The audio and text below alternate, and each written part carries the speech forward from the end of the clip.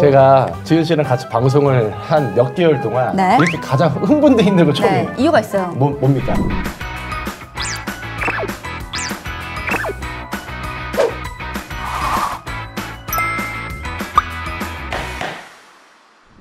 국회 본회의에서 통과된 따끈따끈한 주요 법안 오늘도 쉽고 빠르게 소개해 드릴게요. 잉크도 안 마른 법률 지금부터 시작합니다.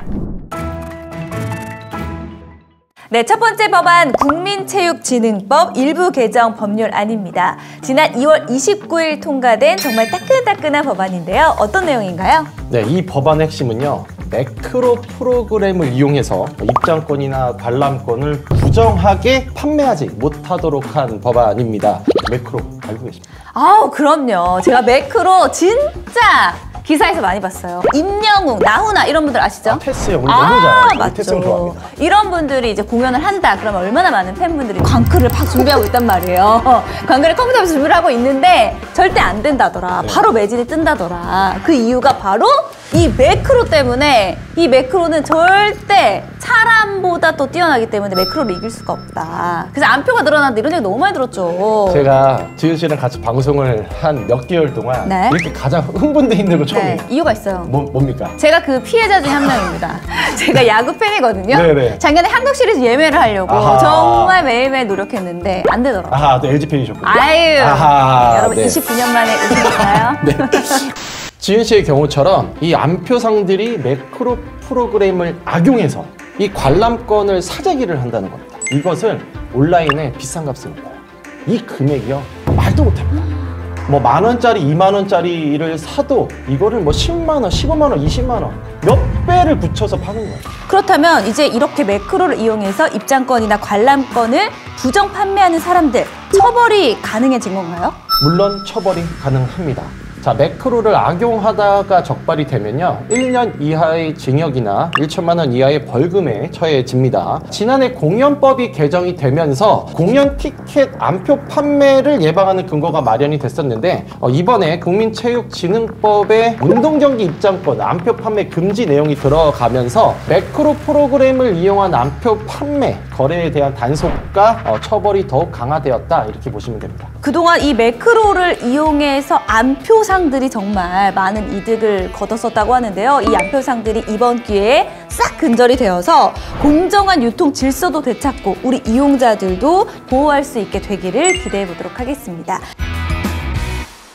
국민체육진흥법 개정안에 담긴 또 다른 내용도 소개를 해주시죠. 체육계의 인권 침해와 그리고 스포츠 비리 근절을 위한 제도적인 장치가 강화됐습니다. 어떤 조항들을 통해서 이렇게 제도적 장치가 마련이 됐을까요? 누구든지 어, 체육계의 인권 침해나 스포츠 비리 조사를 받는 경우에 어, 사실을 고의적으로 누락을 한다든지 그리고 사실과는 다르게 설명을 하는 식으로 사건을 축소 또는 은폐하는 경우가 있는데 이러한 경우에는 500만 원 이하의 과태료를 부과하도록 했습니다. 신고를 하고 싶어도요 주변에서 이렇게 말하는 경우가 응. 너 씨, 너 내가 누군지 알아?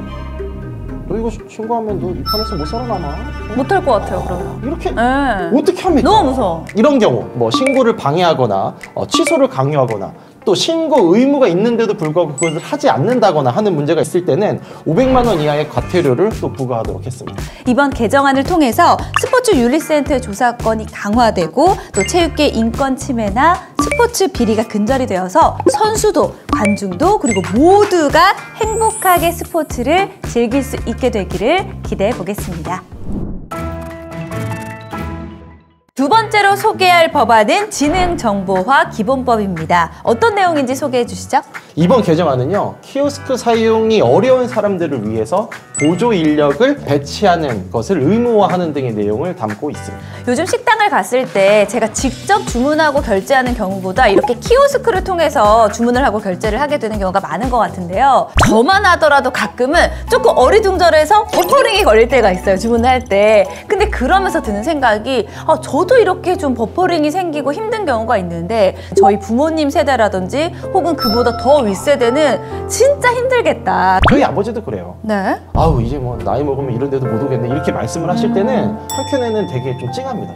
이렇게 우리 일상생활에서 이제는 키오스크가 없는 곳을 찾는 게 더 어렵지 않나 라는 생각이 들거든요. 네, 최근 몇 년 사이에 비대면 서비스가 많이 확대가 되면서 사회 전 영역에서 키오스크가 많이 어, 확대가 됐거든요. 자, 2023년 과기부가 제출한 키오스크 설치 현황에 따르면요. 2019년에는 약 19만 대였는데 2022년에는요. 45만 4천여 대로 증가를 했습니다. 어, 3년 사이에 2.4배가 이렇게 증가를 한 거고 특히 요식업계는 어, 비용 절감을 한다는 이유로 키오스크 사용량을 이렇게 늘리고 있는데 어, 같은 기간에 5,500여 대에서 8만 7천여 대로 무려 3년 동안 16배가 증가를 했습니다. 네, 3년 동안 16배라니 정말 어마어마한 수치로 늘었네요. 네, 이 문제는 이렇게 키오스크 개수가 늘어나면서 장애인이나 고령자 분들의 불편함도 똑같이 늘어나고 있다는 점인데 키오스크를 사용하지 못하면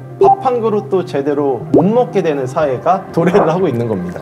아무리 정보화 시대라고는 하지만 이 디지털 역량에 따라서 사람이 차별받아서는 정말 안 되잖아요. 네, 그래서 이제 정부와 정치권에서도 키오스크 확산에 따른 문제가 있다는 것을 인식을 하고 2019년부터 과기부 등의 전담반을 꾸려서 키오스크 기기 개선에 나섰고 지난해 1월에는요 장애인 차별 금지법 시행령이 개정이 되면서 공공기관이나 민간 부분에 어, barrier free 키오스크를 도입하는 내용이 신설됐습니다. 이렇게 정부와 정치권에서 여러 노력을 해왔음에도 불구하고 왜 그동안 이렇게 키오스크 이용 불편이 개선되지 않고 있다라고 좀 느껴졌을까요? 네, 왜냐면요. 어, 이 시행령 적용이 공공기관은 올해 1월부터고요. 네. 민간 부분 사업장은 어, 사업장의 규모에 따라서 2025년까지 단계적으로 이렇게 적용이 음. 되기 때문입니다. 게다가 50제곱미터 이하의 어, 소규모 사업장을 운영하고 있는 경우에는요. 점주를 포함한 보조 인력이 상주할 경우에는 barrier free 키오스크를 설치하는 의무가 사실상 면제가 됩니다. 50제곱미터라고 하면 이 장애인이나 노인 등이 일상생활에서 자주 이용하고 있는 음식점이라든지 편의시설 대부분에 좀 해당이 될 것 같은데요. 제도를 만들긴 했는데 그렇다면 좀 실효성이 떨어질 수도 있겠다라는 생각이 들거든요. 네, 사실 모든 사람에게 맞춤형 편의를 제공한다는 것이 현실적으로 쉽지가 않습니다. 그래서 이번 개정안에서는 키오스크 이용을 돕는 보조 인력 배치를 의무화하거나 어, 실시간 음성 안내를 통해서 직접적인 도움을 받을 수 있도록 했습니다. 이번 개정안을 통해서 모두가 수월하게 키오스크를 이용할 수 있게 되기를 바라면서 이 사회에서 배제되거나 소외되는 사람 없이 모두 함께 일상생활을 잘 누릴 수 있게 되기를 기대해 보겠습니다. 네, 오늘 잉마법 어떠셨나요? 저희와 함께한 시간이 유익하셨다면 구독과 좋아요, 댓글 잊지 마시고요. 네, 저희는 그럼 다음 이 시간에 더욱 유익한 법안으로 다시 찾아오겠습니다. 함께 해 주신 여러분 고맙습니다. 안녕. 저희 원래 좋아요 알림 설정은 어, 좋아요 댓글로 네. 그냥 네, 그거밖에 없기 때문에 클로징의 멘트가 그러니까 이 네. 유일한 건데. 네. 어, 나 매크로 매크로도 좋았어. 좋은데? 어, 매크로 아주 괜찮았어. 때려잡아야 됩니다. 매크로. 아, 매크로 진짜 짜증나.